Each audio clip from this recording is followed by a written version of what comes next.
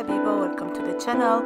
Uh, today art is for Hubert, Hubert from Fire Emblem Three Houses. Forgive me. Uh, it was for the Inktober Shah uh, Inktober inking. I'm sorry again. Uh, the Inktober it was for uh, the month of uh, October, which means we are doing just inking for most of, for the most of the month. 31 painting. Trouble in uh, splitting the videos and there was some issue. So I was trying to record through my phone or maybe I'm going to get a new camera, I'm not sure. But I hope you are going to like this video. Thank you very much everyone and I hope to see you on the coming one. Bye bye.